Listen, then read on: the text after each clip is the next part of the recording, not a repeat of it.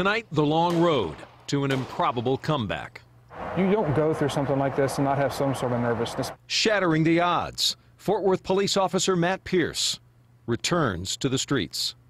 There are a lot of people out there that didn't think that I'd be able to come back to do this job.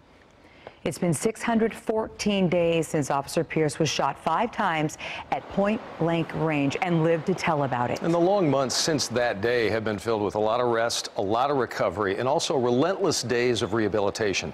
Tonight, only on CBS 11, the final step in that long road back to the only thing that Matt Pearce wants to do, and that's be a street cop again. Okay, gassed up?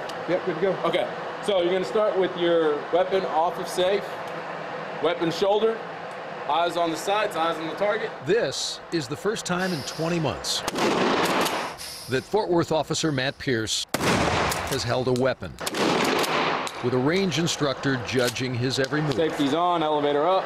I have a healthy nervousness going back, and as I should. Um, you don't go through something like this and not have some sort of nervousness.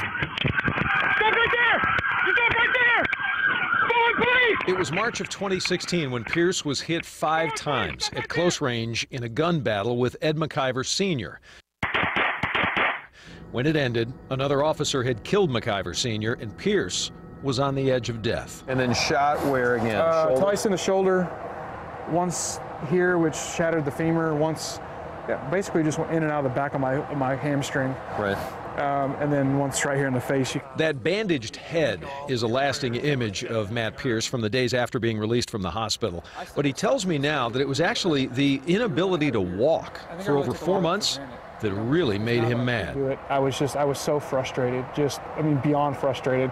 You know, frustrated to the point of tears. So, you know, I think that was kind of my thing that once I could finally walk, um, I thought, you know what, if I can walk, I can do this. All right, on the five yard line, go ahead and draw your weapon out to the ready.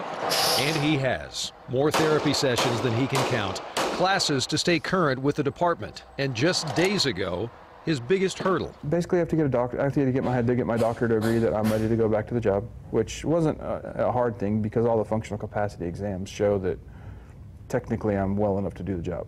As of today, Officer Pearce has jumped through every single hoop to get back to being a street cop, except qualifying with his duty weapon, the very same one the day he was shot.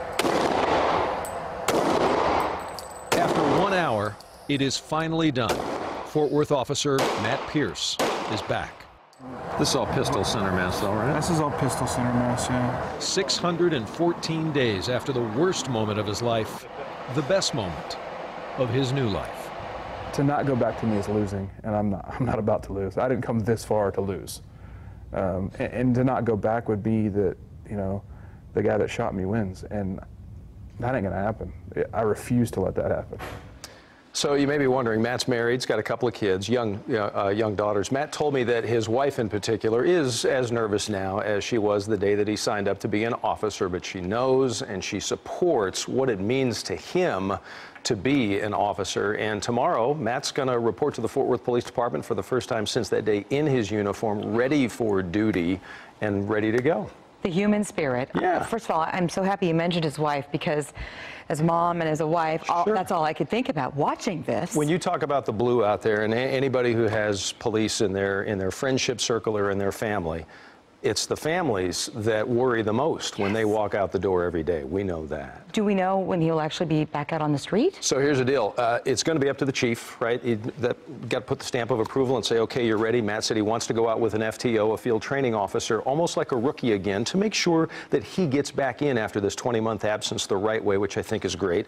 Uh, and the other thing is, if it was up to Matt, he will be on patrol tomorrow, but we don't know if that's going to happen. That's, again, all up to the chief. Wow, I mean, what an extraordinary will and what an incredible story, Doug. Thank you very much for sharing it. Thank you. Well, listen, thanks to Matt for allowing us to be there with him as he uh, qualified with his weapons once again. And by the way, there's so much we discussed, and we couldn't fit everything into the story tonight. We're, you know, TV time, we're limited to a degree. So, so much more of the interview with Officer Pearce. We're going to post this online just a little bit.